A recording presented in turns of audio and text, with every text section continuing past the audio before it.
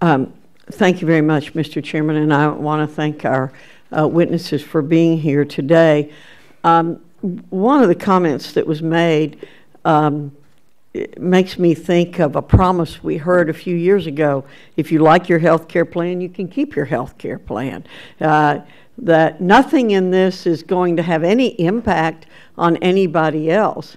And that's what we were told, you know, in terms of what the health care plan was going to do. Uh, Mr. Cole, um, uh, Dr. LoFaso said that, um, that this uh, BFI ruling would have absolutely no effect on franchisees. How do you feel about that? Well, I'm not a franchisee, but uh, what's troubling for me about the BFI case is that it could have been, uh, there could have been a finding of joint employer status under the old definition of the rule. The NLRB injected uncertainty for all of us by changing the definition of the rule unnecessarily. In my case, the perfect, the perfect example is the Dulles Airport job that we're bidding in two weeks. I, the small woman-owned business is technically qualified to execute the work on the site, but too small to bond it, too small to manage a $5 million project. So I will be the project manager. I'll be the bonding agent on the, on the job. I'll be at risk on the entire job and I will direct her forces. I'll have to tell them where to go. Now, since she has a CBA, I'm not going to obviously tell her how much she pays. She's already decided how much she's going to pay those people. But I'm at risk because she has a CBA. If we finish the project early, then I'm sending her employees home. But her contract with, this, with the union might not be up. So now I'm in a joint employer situation. I'm in deep trouble. Okay. Mr. Cohen, what is your response to what Ms. LoFaso said, Dr. LoFaso said? Yes.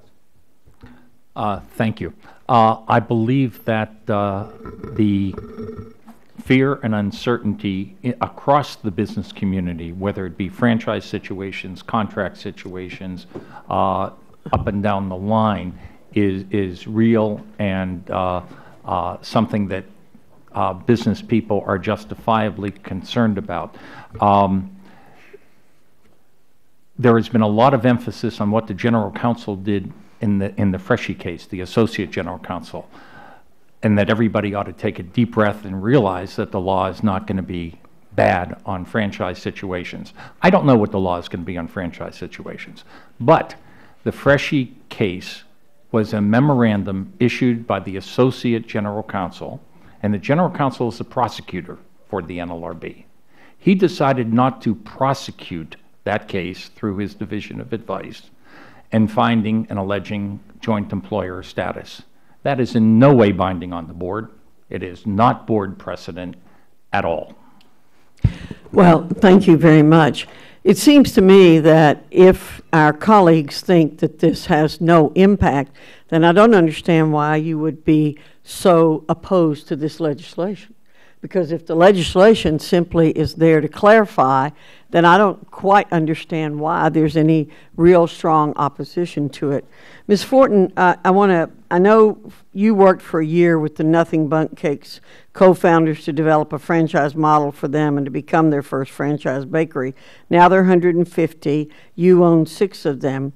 Why has franchising been successful for Nothing Bundt Cakes and if the broad Browning-Ferris joint employer standard had been in place eight years ago, do you think you would have gone to all the effort to become a franchisee?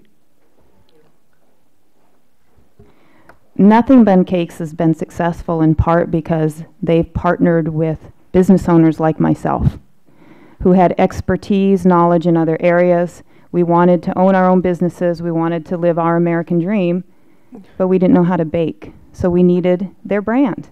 And that's really, I loved the product. I had it at both of my baby showers. That's why I got involved. And I lived in Las Vegas at the time, and I moved to San Diego to start the company. Uh, if, if this had been in place back then and we were in this discussion about oversight, I don't know that I would have wanted to jump into the arena and do this. Mr. Brady, I just want to say thank you so much for the great example that your business is providing uh, for other businesses in terms of what you're doing in the community, in terms of what you're doing for rehabilitation. Uh, I think you're a wonderful role model, and I thank you so much for all the efforts you put into helping your community. Thank you. Thank you. The the